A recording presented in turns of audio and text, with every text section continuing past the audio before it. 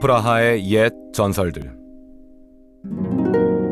소지구에 있는 아틀라스 동상.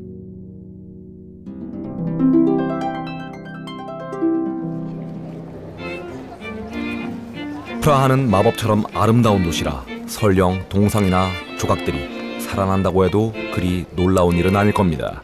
까랄다리의 튀르크족이나 요한 네포목 신부 또 네르도바 거리의 무어인들 심지어는 말라스트라나 지구의 아틀라스 상도 한때는 생명을 가지고 움직였다고 합니다. 믿기지 않으십니까?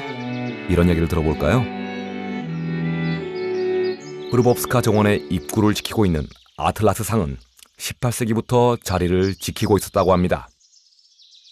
아틀라스 상이 들어선 지 얼마 되지 않아 동네에 살던 마음 착한 꼬마 아가씨가 정원을 지나다가 우연히 아틀라스를 보게 되었고 무거운 지구를 들고 영원히 고생해야 하는 아틀라스의 운명을 안타까워했습니다.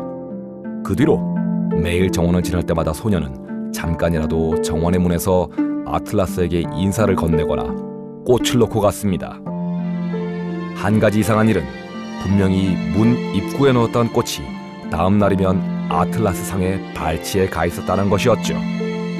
소녀는 어떻게 이런 일이 벌어지는지 이유는 몰랐지만 사실 이건 소녀에게 중요하지도 않았습니다.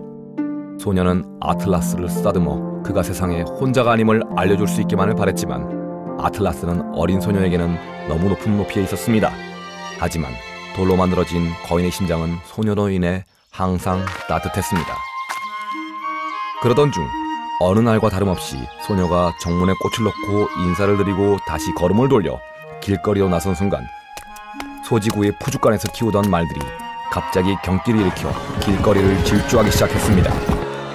궁전 앞으로 나오던 말들은 이내 소녀의 앞으로 도달하였습니다. 미친 말들의 말발굽에 소녀가 밟히기 직전 아틀라스는 살아났습니다.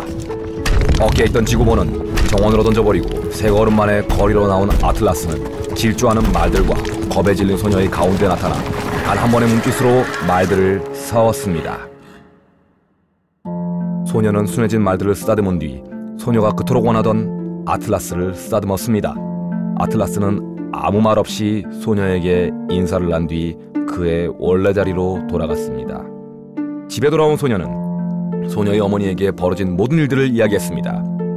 아틀라스가 구해주지 않았더라면 자신의 사랑스러운 딸이 지금 자신의 품에 없었을 것이라 생각한 소녀의 어머니는 기쁨의 눈물을 흘렸습니다. 그 뒤로 소녀와 소녀의 어머니는 매일 나란히 궁전의 정문에 아틀라스를 위한 꽃을 바쳤다고 합니다. 소녀를 구할 때 아틀라스가 던졌던 지구본은 정원에 큰 흔적을 남겨 그 뒤로 비가 올 때마다 파인 곳에 물이 고인다고 합니다. 사람들은 말합니다.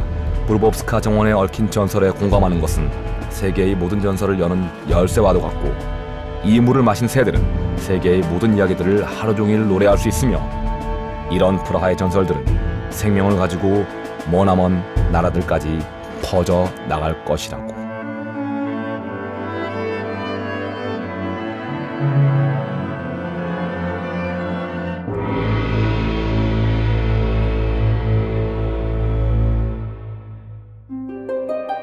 한국어 버전 RUEXP 팀 백승구